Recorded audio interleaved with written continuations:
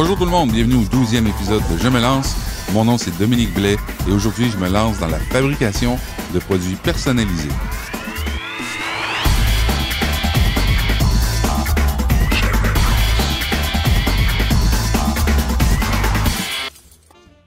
En tant qu'entrepreneur, ça m'est arrivé souvent d'avoir envie d'avoir des, des items qui portent mon logo. Par exemple, ça pourrait être une tasse à café, ça pourrait être un chandail, ça pourrait même être un livre. Le seul problème, c'est que quand on arrive pour euh, le faire fabriquer, donc on arrive chez le fabricant, souvent ils vont nous demander de fabriquer de grandes quantités. Les grandes quantités, évidemment, ça vient avec un grand investissement. Et là, on n'a pas toujours les fonds nécessaires pour ça. Heureusement, depuis quelques années, il existe un truc qui s'appelle l'impression à la demande. En anglais, on va dire print on demand. Et parfois, vous allez voir aussi tout simplement POD. Et ça, c'est une solution idéale pour vendre des produits physiques sans avoir un investissement initial. Évidemment, ça va vous prendre votre logo ou un design graphique quelconque que vous voulez vendre. Ça peut même être juste une phrase. Vous pouvez avoir une phrase, euh, une clé euh, qui vous sert pour votre entreprise. Vous pouvez avoir aussi euh, une super bonne idée d'un pitch de vente. Vous pouvez à ce moment-là le faire fabriquer et le faire insérer sur un T-shirt. Et quand on parle d'impression à la demande, ça veut dire que ça va être un produit à la fois. Évidemment, le produit va vous coûter plus cher que si vous en fabriquez 500, mais vous n'avez pas besoin de geler des fonds immenses.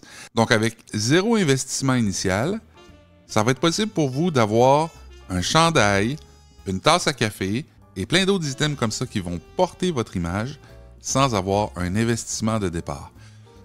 Il y a cinq grandes étapes. La première étape, c'est l'idée du design.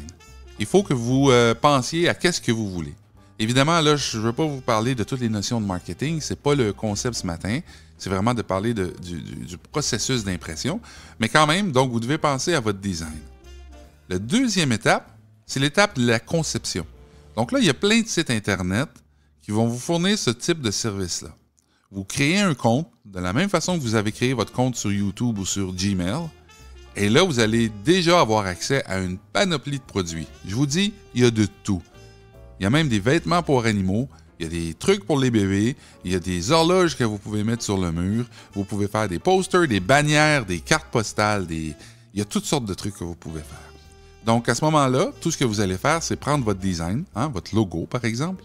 Vous allez l'intégrer dans le site Internet et déjà à l'écran, vous allez être en mesure de voir un design. Vous allez être en mesure de voir le fameux chandail, de la couleur que vous souhaitez, de la coupe que vous souhaitez, du type de tissu que vous souhaitez, avec le logo déjà intégré. La suite, c'est simple, vous allez approuver le produit. Vous pouvez vous en commander pour vous-même en quantité limitée. Donc, vous pourriez par exemple dire j'en veux deux, j'en veux trois, juste pour votre petite équipe. Ou vous pourriez aussi le mettre en vente. Quand vous le mettez en vente, il y a quelques solutions possibles. La première option, c'est de prendre votre produit et de le mettre en vente directement sur le site du fabricant.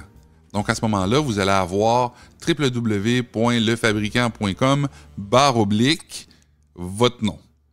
Et là, à ce moment-là, vous pouvez tout simplement partager ce lien-là et les gens pourront aller vous supporter ou acheter vos produits. Vous comprenez qu'il n'y en a pas eu un de fabriqué là. Donc les gens, à la minute où ils vont, par exemple, choisir l'item A, ils vont payer pour l'item A seulement et ils vont recevoir par la poste l'item A. Côté distribution, il est assez simple. Vous n'avez pas à le faire. C'est le fabricant qui va envoyer directement chez l'acheteur. Une autre option au niveau de la vente, c'est de commander des produits pour vous-même. À ce moment-là, le fabricant vous donne un rabais. Ça va vous coûter un petit peu moins cher. Vous commandez le produit, il va être livré chez vous et vous pouvez vous-même le vendre. Donc, si par exemple, vous êtes, je ne sais pas moi, un artiste, vous avez une petite série de spectacles qui s'en vient et vous voulez vendre certains de ces produits-là, alors là, vous les commandez d'avance, vous les recevez et la magie, c'est que vous allez en avoir seulement quelques unités. Vous avez encore de l'argent pour partir en tournée plutôt que d'avoir des milliers de dollars d'investis dans de la fabrication. Évidemment, chacun des items sera plus dispendieux, donc votre marge de profit sera plus petite, mais vous n'aurez pas eu à geler des fonds sur des produits que vous ne savez pas parfois, même si euh, ça va être vendeur, si vos clients vont en vouloir. Une autre option intéressante, c'est que lorsque vous allez créer les produits en ligne, vous allez être capable d'intégrer cette petite boutique-là à l'intérieur de votre propre site Internet. Donc, plutôt que d'envoyer un lien pour que les gens se retrouvent sur un autre site, vous allez pouvoir vendre ces produits-là directement à l'intérieur de votre site, ce qui facilite évidemment les transactions. N'oubliez pas, c'est toujours le fabricant qui s'occupe de la distribution. Donc, vous n'aurez pas à aller courir au bureau de poste, aller faire peser le matériel, euh, à prendre une assurance sur le matériel, envoyer ça, gérer les retours, parce que si jamais quelqu'un commande un verre avec votre logo dessus et puis qu'il arrive tout cassé, ben à ce moment-là, c'est le magasin en ligne qui va s'occuper des retours et du remboursement. La cinquième étape, c'est que vous allez recevoir des redevances. Donc, vous allez déterminer vous-même le taux de redevance qui vous intéresse. Est-ce que vous désirez recevoir un dollar par produit vendu, par exemple, ou un pourcentage de la vente? N'oubliez pas, vous n'avez pas investi un sou. Comme toute chose, pour réussir à en vendre, il va falloir que vous fassiez de la promotion. Donc, dépendamment du type d'entreprise que vous démarrez, eh bien, peut-être que vous allez avoir besoin d'investir dans de la promotion parce que les gens ne vont pas savoir que vous avez des produits comme ça en vente. Par contre, si je reviens à l'exemple d'un artiste, le simple fait d'être en spectacle, eh bien, c'est sa promotion. Vous allez voir un artiste, l'artiste a des produits à vendre, on est habitué au concept, ça a toujours été comme ça. Comment est-ce qu'on choisit son fournisseur de services en ligne? Bon, bien évidemment, il va y avoir des petites choses très importantes à vérifier. Premièrement, le type de produit à faire, parce qu'ils ne vont pas tous offrir le même type de produit. Il faut juste regarder qu'est-ce qui vous intéresse. Le deuxième point, ce serait le coût de livraison. Hein? Combien ça va coûter au moment où vous alliez commander des trucs pour vous-même? Ou encore quand vos clients vont commander des choses pour eux. Les délais de livraison. Est-ce que la fabrication se fait rapidement et est-ce que le produit est livré rapidement? Ou si vous allez recevoir des tonnes de plaintes de gens qui sont insatisfaits par les délais. Suite à ça, c'est les lieux potentiels de livraison. Certains fabricants ne vont pas livrer dans certains pays. Donc, vérifiez parce qu'on prend pour acquis que si, par exemple, vous êtes au Canada, que vos clients sont au Canada, mais vous savez que c'est plus ça, c'est pas toujours le cas.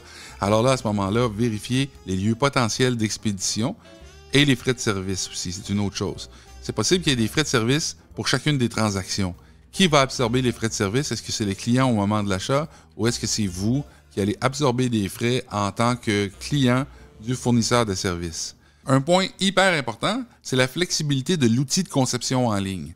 Vous allez comprendre que lorsque vous allez insérer votre design dans le site Internet, vous voulez avoir une certaine flexibilité. Peut-être que vous voulez votre logo plus petit, peut-être que vous le voulez plus grand, peut-être, bon, je ne sais pas.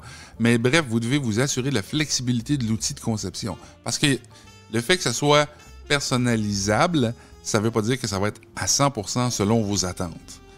Suite à ça, le dernier point qu'il faut prendre en considération, évidemment, c'est les coûts unitaires associés aux différents produits. Donc, combien va vous coûter, par exemple, ce fameux chandail? C'est important parce que d'un fabricant à l'autre, vous pouvez avoir des différences de prix aussi. Si vous y pensez un instant, vous allez voir que c'est un excellent moyen aussi pour tester des nouveaux produits, pour voir est-ce que vos clients pourraient être intéressés à acheter en plus grande quantité. Si vous voyez que vous avez toujours de la demande sur tel ou tel produit, à ce moment-là, il serait plus rentable d'aller voir un fabricant traditionnel et demander une fabrication en plus grande quantité. Évidemment, le coût initial sera plus élevé, mais par contre, votre marge de profit sera plus élevée aussi. N'oubliez pas que si vous choisissez de faire affaire avec un fournisseur de services en ligne, ça vient avec un contrat. C'est pas parce que vous n'avez pas signé un contrat papier que c'est pas un contrat. Donc, lisez toutes les clauses, lisez les conditions, assurez-vous que ça vous convient. En cas de besoin, demandez des conseils juridiques à une personne qui est habilitée à le faire. Si vous êtes intéressé à en savoir plus sur l'impression à la demande ou le print on demand, veuillez visiter jemelance.ca. Ici Dominique Blais et merci d'avoir été à l'écoute.